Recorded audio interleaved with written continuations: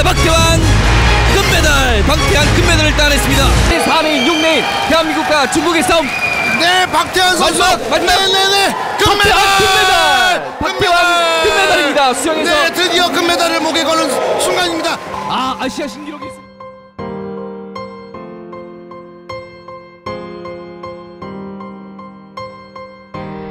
한국 수영의 간판인 박태환 선수가 도핑 테스트에서 양성 반응을 보여 충격을 주고 있습니다. 10년간의 모든 영광들이 물거품이 되고 모든 노력들이 약쟁이로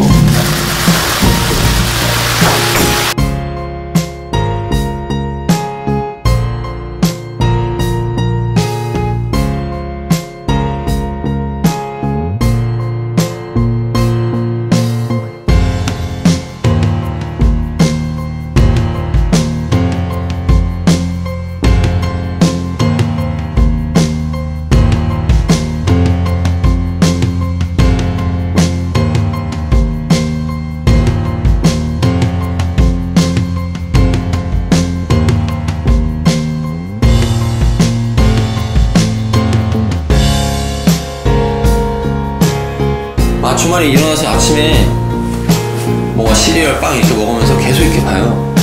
계속 이렇게 보고 있으면 전화가 와요. 엄마한테. 저녁 먹으러 안 와? 이렇게 되는 거예요. 시간이 계속 보다 보면 하루 왼종일 볼 때도 있어요. 그걸 빠져가지고 건질 게 있거든요. 건질 게 있으면 그걸 제가 훈련할 때 똑같이 해보고 어, 이미지 트레이닝도 해보고 그러니까 실전에 좀 쓸 수 있는 거.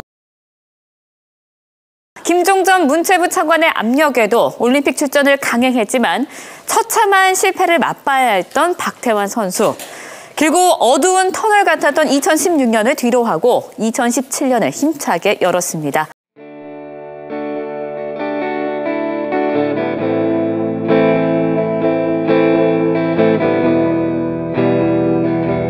박태환 선수가 올해 첫 출전한 국제대회에서 2관왕을 차지했습니다. 박태환은 미국 조지아주에서 열린 아레나 프로시리즈 남자 자유형 200m 결승에서 1분 46초 71로 우승해 전날 400m에 이어 두 번째 금메달을 목에 걸었습니다.